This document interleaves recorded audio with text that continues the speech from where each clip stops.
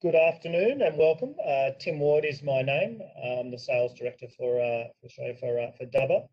I'll introduce the rest of the team uh, shortly. But first of all, I'd just like to, to welcome everyone to this webinar um, and to formally introduce our, our summer Sizzle, Sizzler campaign, um, which kicked off, I think most of you would have received an email uh, late, late last week. First of all, uh, I want to say a big thank you to uh, to you all for joining the call today and for participating in this incentive. We've got quite a few people on the call, which is great. Uh, really good to uh, to see the enthusiasm for uh, for this, and uh, yeah, it's, it's um yeah we're really excited about this promo because we are we're a channel centric organisation. We we rely on working with the likes of you, so anything we can do to help energise and excite our partners is uh, is great for us. Quickly, by way of hygiene, um, you know, if there's anything that you want to ask during this um, during this session, um, we will be answering questions at the end. But if there are any uh, quick things you're wanting to have clarified during the call, there's a, a Q&A section on the right of the uh, the screen you should see there, and we'll endeavour to answer questions as uh, as as we go through. By way of agenda, uh, there are only a couple of key things that uh, we're wanting to cover off today. Uh, appreciate everyone's busy. Um, but you know, really want to just, uh, I guess, focus in on a couple of key areas that help you get deals registered, uh, and then as a result of that, get cash generated for you. Um, firstly, I'll just do a little bit of a, an introduction um, to the Dubber team. Uh, I'll then walk through some of the, the key details for the promotion. I'll then hand over to uh, to Theo Tedder, who will uh, give a, a, bit of an overview on how to turbocharge deals with Dubber. Uh, and then if there are any questions at the end, we'll uh, we'll run through uh, through those there. So if there are any questions during the course of the session, as I said, please please register those on the on the sidebar. Uh, introduction, um, the scene, the team, the dream. Um, yeah, as far as the scene is concerned, as, as you know, Dubber acquired Call uh, last year, and now we're all part of the one Dubber family. So you might have seen reference to, to CallN or Dubber. We're all part of the Dubber family. Uh, as far as this um, promotion is concerned, it's for opportunities generated through Dubber or generated through through through CallN, but all under the the umbrella of the the Dubber family. Uh, and in that context, you know, we have a, have a portfolio of of uh, call recording AI solutions that will meet pretty much any telephony environment, be that on-premise, be that cloud, be that you know MS Teams, TIPT, Liberate, um, or uh, other platforms as, uh, as well, including all you know, a myriad of, uh, of PABXs. So for us, you know, we think we've got a compelling, uh, I guess, program to run that, that sits across most of the, the telephony platforms that you're selling on a, on a day in, day out basis. As far as the team is concerned, uh, I mentioned, um, you know, uh, joining me to present will be Theo Tedder, who's the sales VP for, for APAC. Um, also on the line with us, uh, Jim Walsh, who is the account director for uh, Victoria, South Australia, Tasmania, and WA, and Simon Ewan, who's the account director for uh, Queensland, New South Wales, and, uh, and, Northern Territory. You hopefully would have seen emails coming uh, to you from Jim and Simon, and they're crucial to, to this part of pro, this um, promo and engagement with them on this promo, as, uh, as you'll see shortly. Onto the dream. Um, yeah, as I mentioned, we're, we're all about the channel. Um, we want to ensure that you know, our partners have Dubber at front of mind. Um, you understand the value that Dubber brings uh, to customers uh, and are comfortable presenting Dubber to your to your customers. So, yeah, I mentioned Theo will cover a lot of this in uh, in the section he goes through, but it's really important for us that our partners have Dubber front of mind. Uh, not to forget, this is also a great opportunity for, uh, for partners to, uh, to make some money as well. Um, and not to forget, I guess that you know not only is you know we, have got the opportunity to generate, um, um, I guess, a revenue um, up front in terms of the um, sort of generate cash up front. There's also where these do opportunities do close. We've also got the opportunity to um, to generate the, uh, ongoing revenue for uh, for the dealerships as well. So there's sales that, uh, opportunities that go from just the, the lead status through to the sale. There's you know the, the added incentive for uh, for the ongoing commissions with uh, with that as well, which is great. Um, moving on, just to give you a bit of a you know how how it does work. So hopefully um, from the email would have got some information on uh, on, on the two ways that you can earn. So there's you know, $10 per endpoint will pay for opportunities registered up until the 31st of March. Um, and then $15 per endpoint for opportunities that close by the 31st of March. So one's uh, just for um, registration of uh, a qualified opportunity, Another one is for those opportunities that, uh, that, that do close. As I mentioned, this is in additional to the revenue that you would get, the commission you would get from, from closing that, uh, that sale. Um, very easy to take part. Um, three steps. Um, identifying a prospective CallN or dubber customer. So this could be looking back into the customer base of someone who you've sold a you know, compatible telephony platform to previously, or deal you're working on at the moment, or recently closed, uh, or something that you know, you're, you're targeting into into the future as uh, as well as, as your discussions go. To register that opportunity via the, the website, there's a link down the, the bottom there, uh, dubber.net Summer Sizzler. Uh, and then schedule a demo with uh, with Dubber, so that's with uh, Simon or, or Jim by the by the 31st of March. So that's easy. That's it. Identify the customer, register the opportunity, get a demo, and that's it. That's all uh, all we need from you. And then, as I mentioned, there's ten dollars um, per endpoint is the minimum that will be uh, will be payable there. Just in terms of that website, um, there's a little bit of information that's required there. Um, just as we walk through there, there's just information on the uh, the opportunity that we know, just to give us information in terms of when we are having conversations with the customer as well. So what the status of that opportunity is, live prospecting, uh, etc. Your details of, of, the reseller and the opportunity de details. I emphasize here, please make sure the correct state is, is, is, is included here because what we're doing, we've automated the process to make sure that that then gets sent to the either Jim or Simon based on um, on where that customer, the state they're in, so that making sure the correct state for the opportunity is, uh, is included there as well. A couple of key promotional terms we just wanted to cover off just so that it was all um, clear on that.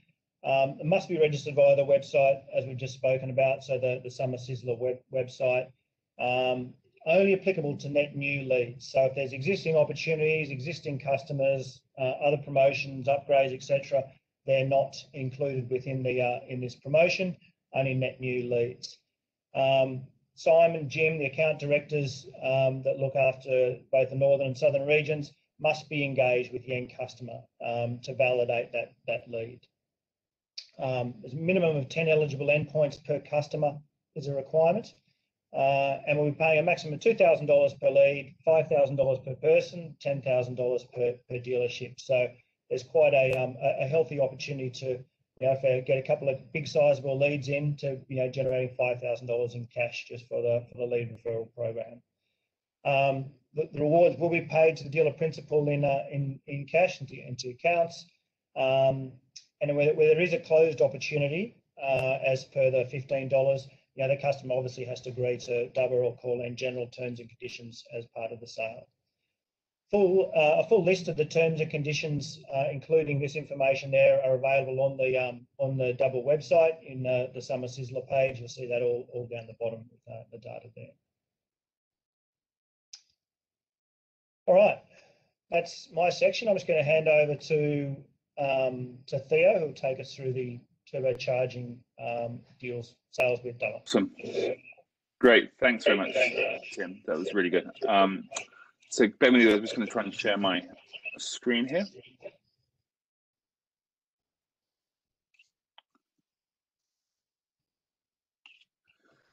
So everyone can see that okay? Excellent.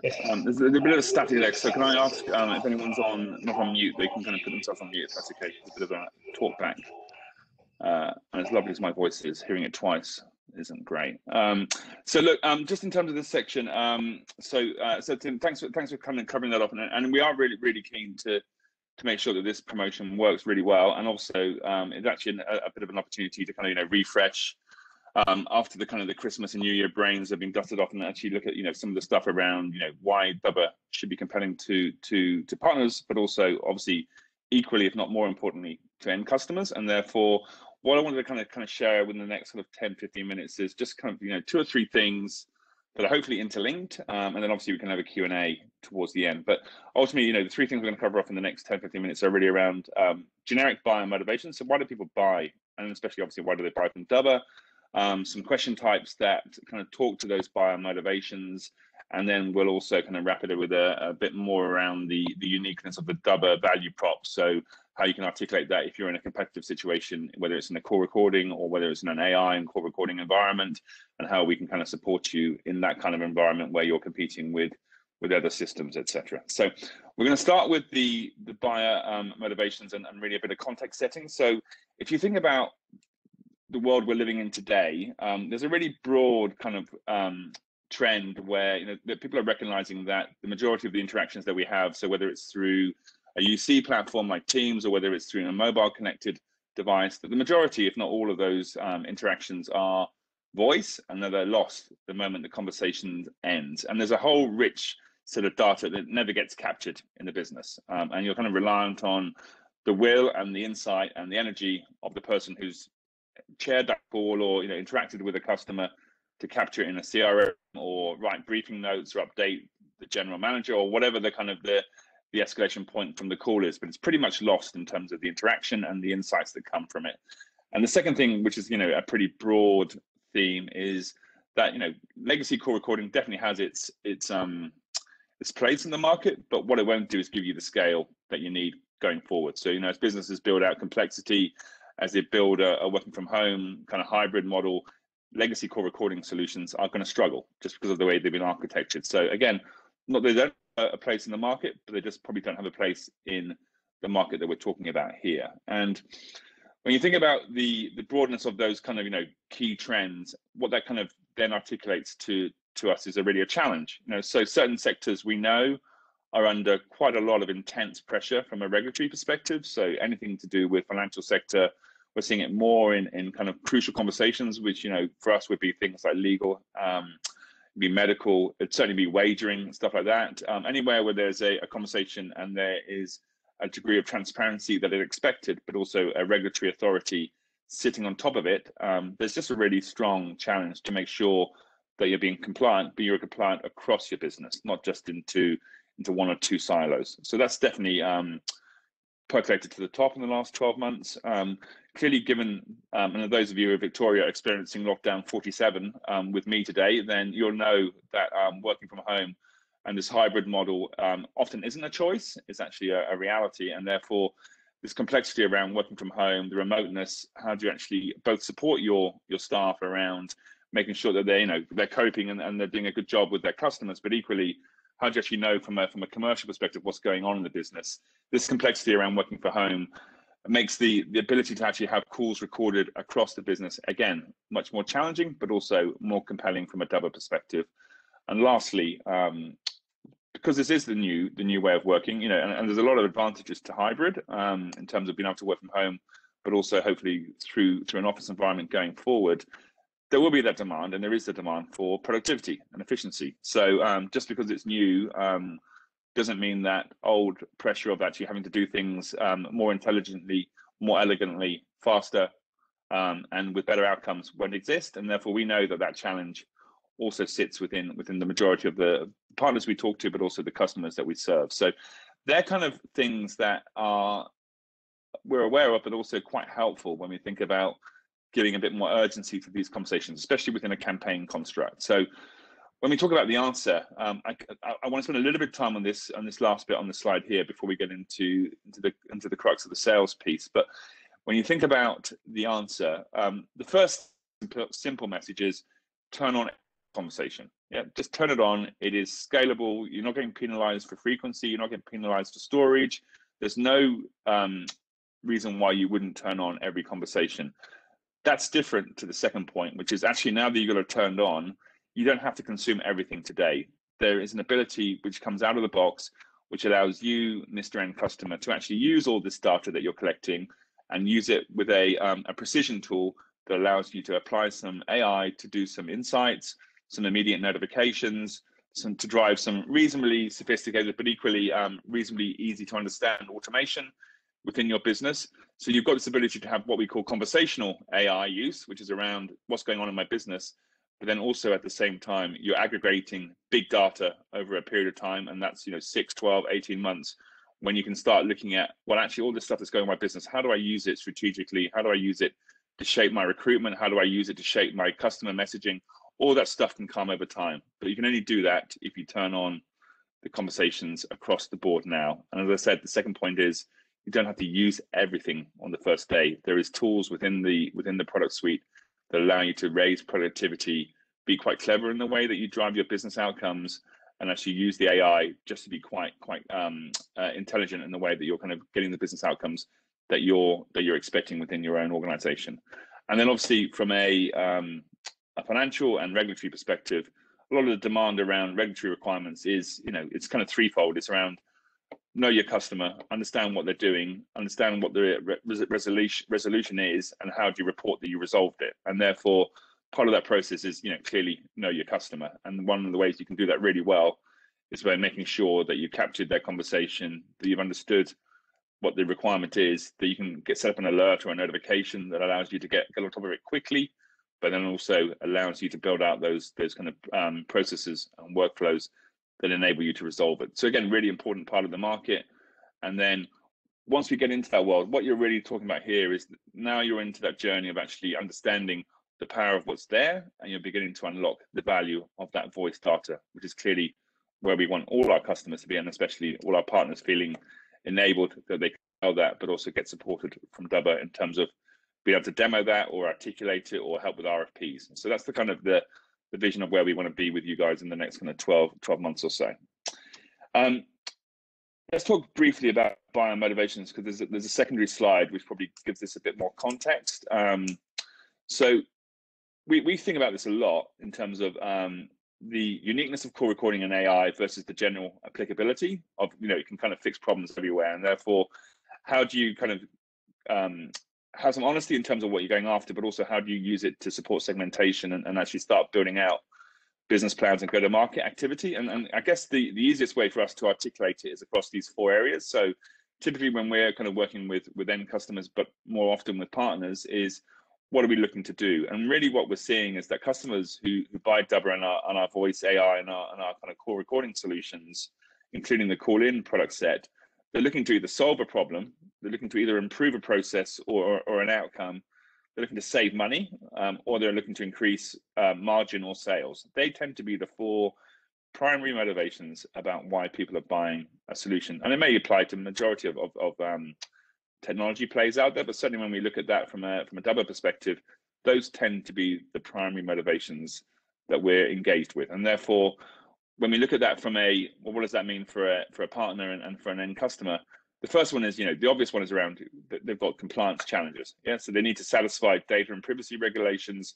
They've got hybrid working from home. They've got part-time stuff. They've got a mini contact center they've got mobile workers, you know, they've got everything. They've got customer success people in the field, they've got pre-sales, they've got engineers, blah, blah, blah. And they've just got a whole raft of different workflows, different conversations, and different multi-touch points going to their customer base. And therefore, we need to be able to solve that, and we need to be solving it in a consistent and uniform way. And we do that through this concept of unified call recording, which allows them to access 100% of their voice data for compliance alerting, and then those rapid in investigations, which basically is around notifications saying, Tim shouldn't have said that on the call this morning.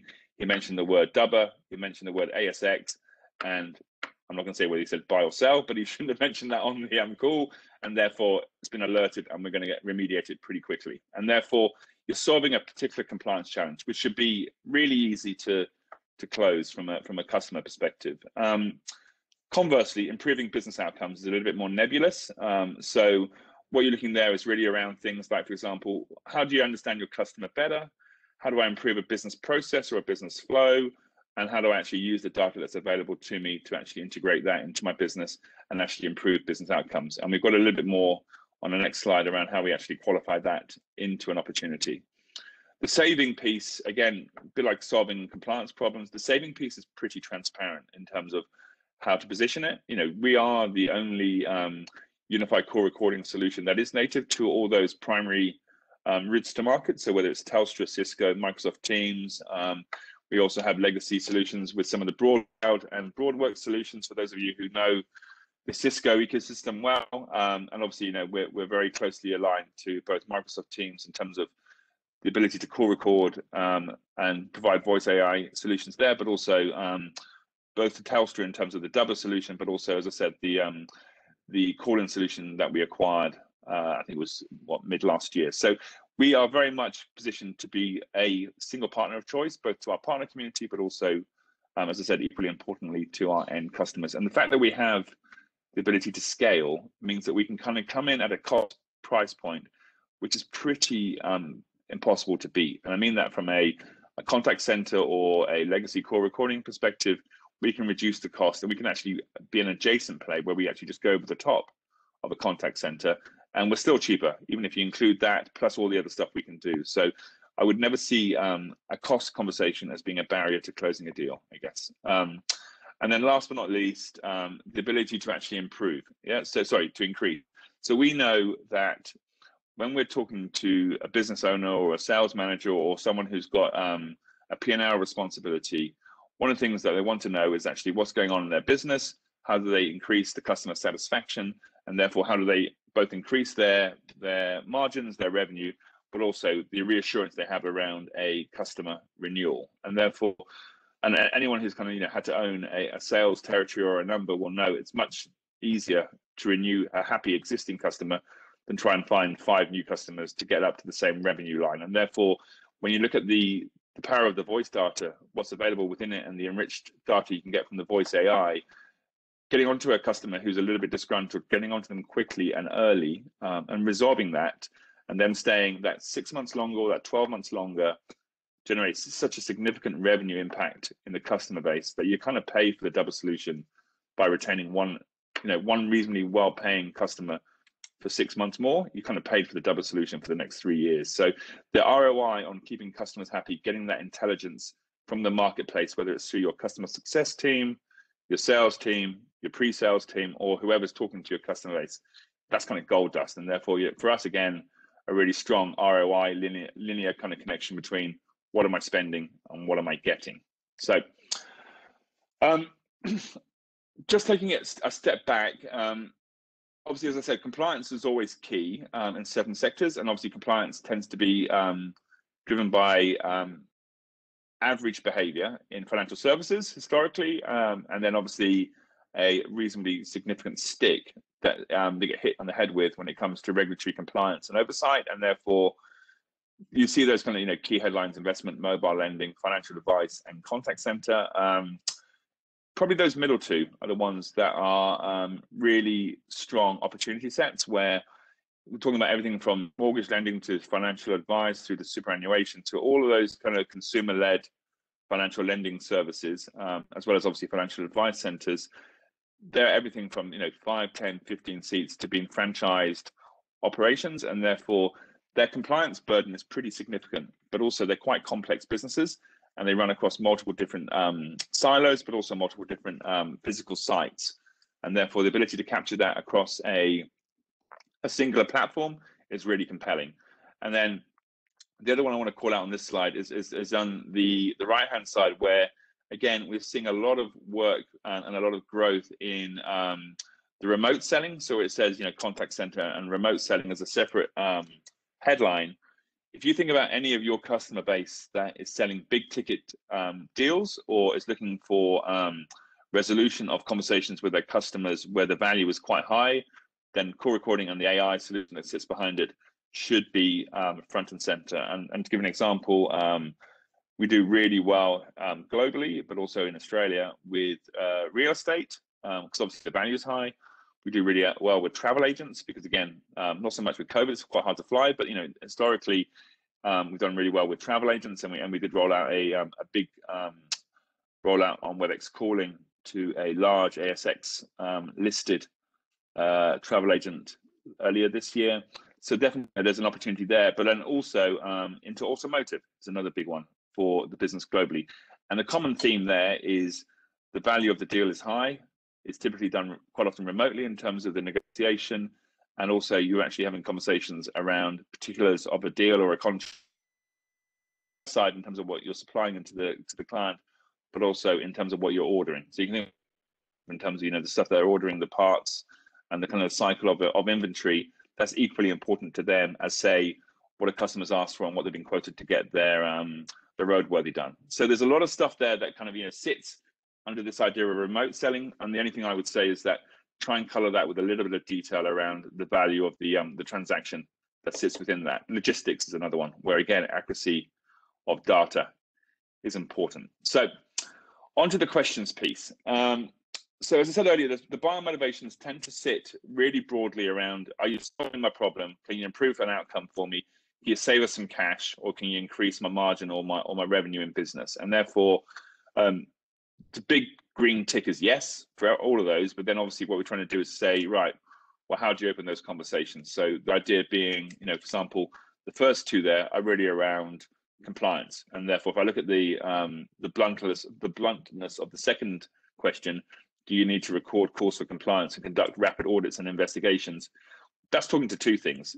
You need to be compliant, yeah, obviously. Um, and then the second one is how much time do you waste having to go back and listen to calls? Are you, are you kind of you know doing a legacy call search? Are you looking on, on, on putting a, SQL string? If you go to the Dubber platform, you can do any search you want on any kind of um, string, and you'll get the answer within literally three seconds. And therefore, you've got the scale, you've got the compliance tick in terms of the privacy and the coverage, but also your user experience is really, really good in terms of how quickly you're getting the answers you need. Um, equally, when you're talking about improvement, so again, we're talking into the world now of actually, I need to understand what's going on in my business. I need to be able to um, understand when I've got a a workflow or a, or, or a rogue agent who isn't behaving in a, a, way that I want to. I actually want to understand why Tim is really good on his calls and Theo's awful. They kind of have the same the same territory, the same job, oh, I can see that Tim's calls are seven minutes on average and Theo's are three. I can see that Tim talks for two and a half minutes of his seven minutes, but Theo never stops talking. I'm now beginning to understand what's going on in business and how I can improve both the outcomes at a kind of training level, but also at a process level where I can actually start seeing well who's actually doing what and when are they doing it, and can I allocate you know different people to a different area of the business. So again, it's all around that kind of competitive intelligence around understanding what's happening, especially when you have people working remotely. In terms of the saving, um, a saving question would be, you know, what would be the benefit of capturing all your calls versus a small number? Again, capture all of them. You don't have to use everything today, but with the AI stuff and, and the this concept of conversational AI, you can actually start getting some really meaningful notifications.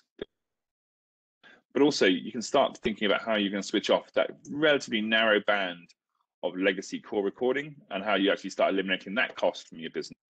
But that also, you're starting to use that kind of a in a much more um, business outcome specific way than rather just having it in a narrow part of your business. And therefore, again, how do you then start using that to leverage value and insights across your customer base? And again, you can see some of the answers there. So this concept of UCR, so unified call recording, again, that whether you're a Teams customer, a direct to mobile customer, or whether you're using WebEx calling or whatever you're using as your, as your um, uh, connection play, all of it's captured in the cloud, all of it's captured under a single platform, and we can eliminate that cost in terms of having legacy service agreements, legacy service contracts, and it just basically un, uh, uh, um, gets rid of and removes those constraints, which typically are, are kind of characteristic of, of those legacy call recording solutions. And then lastly, the, the question around increasing. So how do you actually make my business better? How do I get more margin? How do I get achieve some more sales? So one of the questions you ask here is how do you like how can you understand what's going on in your business if you're not actually understanding the conversations? So as a chief exec, I'd love to know that you know I can pick up a, a dashboard on a, on a Tuesday morning at 7:30 and see all the calls that happened in my business yesterday, and I want to know you know of those 900 calls that 860 were positive, 30 were neutral, and 10 were negative. And I want to be able to see that what the 10 negative were about a different requirement to say a customer success manager who wants to understand why the 30 calls that keep getting picked up every week are always under the same ticket ID and why they never get fixed, which is different again to a sales manager who wants to understand why Tim always closes his targets, but Theo never does. And therefore, the ability to start using the voice intelligence suddenly becomes quite profound in the way that you can actually use it out of the box, but you can also start getting quite clever in terms of providing different dashboards and different scenarios to different stakeholders within the customer base. So again, thinking about solving compliance problems, think about improving processes around how you're actually going to fix problems and how you're actually going to save money by moving to a more scalable hosted solution or cloud solution. And then equally, how you can actually start thinking about increasing margin and, and revenue within the business. And again, examples there that we can both show in terms of collateral, but also um, people like um, Jim, Simon, Shri on this call can also help in terms of demos, etc. So lots of good stuff there. Um, so if we if we kind of talk about where we got to in the session so far, we talked about you know buyer motivations around the four key areas of you know being able to save save and, and, and also improve. We also talk about the the key sectors where we'd like to play in terms of you know key financial regulatory environments, crucial conversations. We talked about the value of um, remote selling, where you're actually dealing with big ticket items, like so whether it's real estate or travel or automotive, or all those good ones. Logistics again, because it's detail oriented, tends to be another one that we do well in. But then also the bit that we haven't really touched upon is if you're in a competitive situation, you understand any of this, they're just going, I just want the call recording how do you articulate the value? And I think looking at a lot of these kind of um, items on screen, you can see um, some of them we touched around scalable and affordable. So they're they're hopefully covered off reasonably well.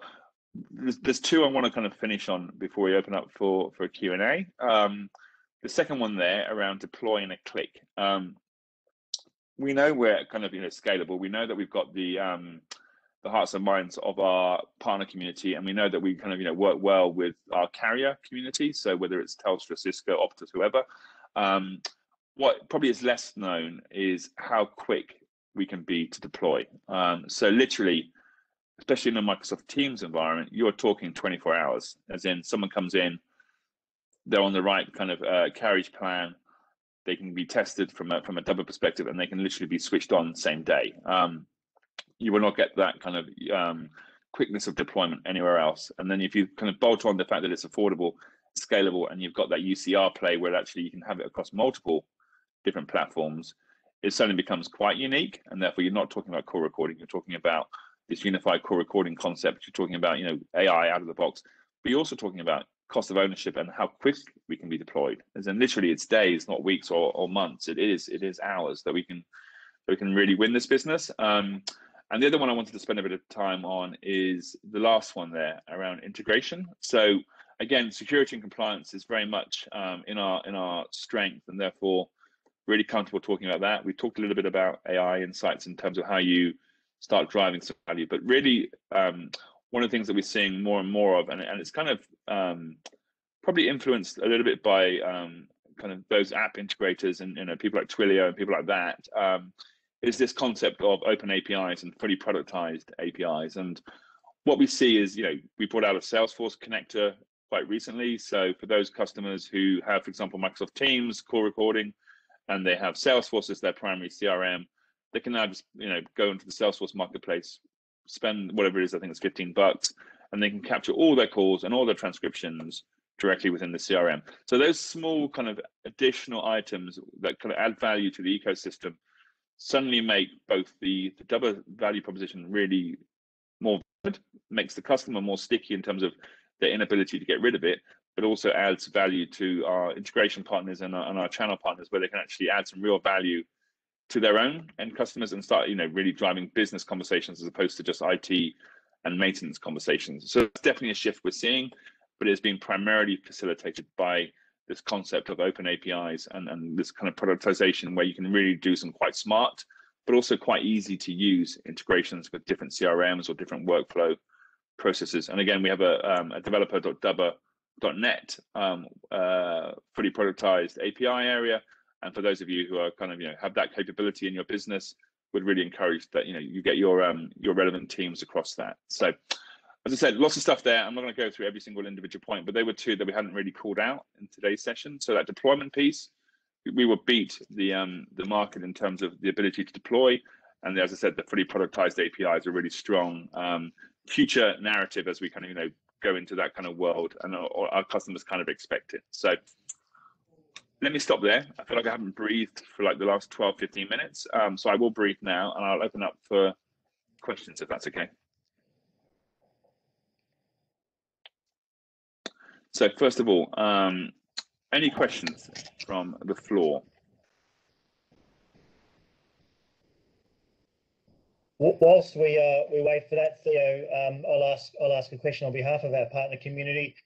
There was a bit of information to absorb there. Is there a simple one pager that that we could distill that down to for uh, for customers, both the AI product and uh, the call recording product?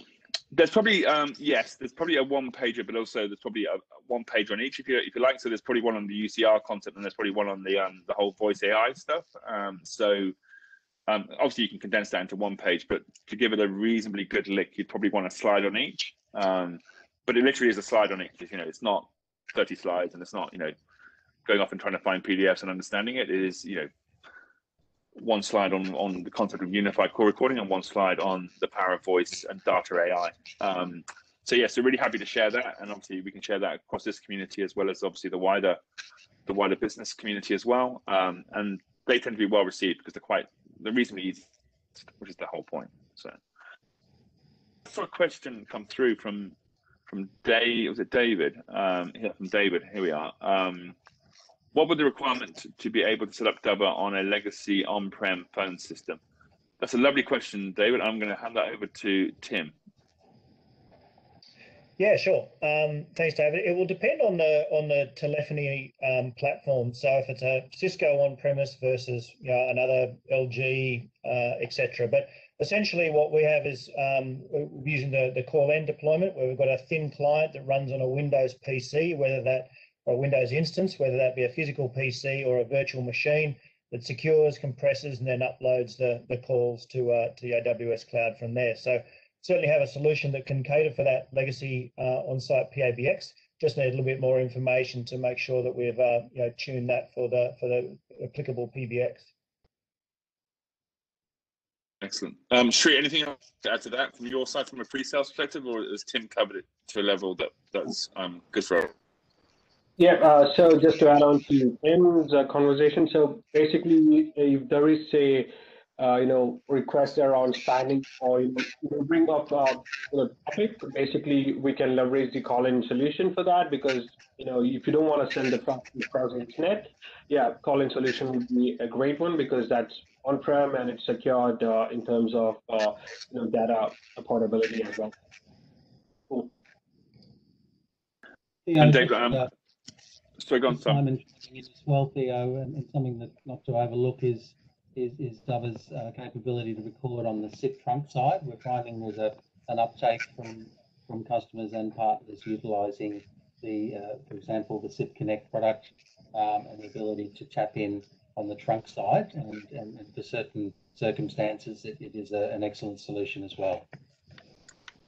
Yeah, no, very, very good point. Thanks, Simon. Um, yeah. So yeah, absolutely, and I, and I, think you know that's the whole SIP Connect and, and the concept of you know typically might be in a contact center. That that really does also round out that concept of unified call recording, as in you know whether it's mobile, UC, or into contact center, the ability to have that um, consumed across the different uh, anchor points within a business, but then also then consumed into a standard platform is one of the, one of the key differentiators, both in terms of and also just around you know password security, um, user experience, the whole thing just becomes much more compelling rather than having four different call recording solutions, a bit of AI over here, um, and you just get into a world where you know people think you know we're, we're uniquely presented and positioned to be able to kind of offer that kind of uniform experience. And then, as I say, once you build in the, the data sets and the AI stuff behind that, um, then you're into business business fixing, and that becomes really valuable. And you're moving away from carriage and now talking about content. People like to pay for content because they feel they're getting better, more rich data about their business. So you're not, you're not no longer a utility. You're actually a, um, a value add, a proper value add within their business. So. Uh, any other questions anyone?